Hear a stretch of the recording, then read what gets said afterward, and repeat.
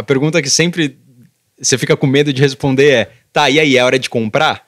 Aí tipo, você sempre, tipo, sempre depende. É que você fala, não, agora é um bom momento para começar a comprar. Você fala, não, agora é uma boa hora de comprar. Ah, bom, 100% do caixa É, ali, ó. Isso, isso é complicado, porque Não. para cripto, e, cara, isso é um desafio árduo para quem trabalha com cripto, porque você praticamente nunca vai conseguir acertar o fundo, porque é muito volátil. E ele sempre pode cair mais por algum N fator que você não estava considerando, porque você não conhece a curva de demanda. É muito difícil entender quem está por fundamento, que você não consegue fazer exatamente essa segmentação.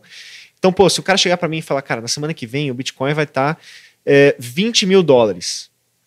Eu vou virar para ele e falar, É pode possível. ser. É possível. Pode ser, não, não, não tem como dizer não.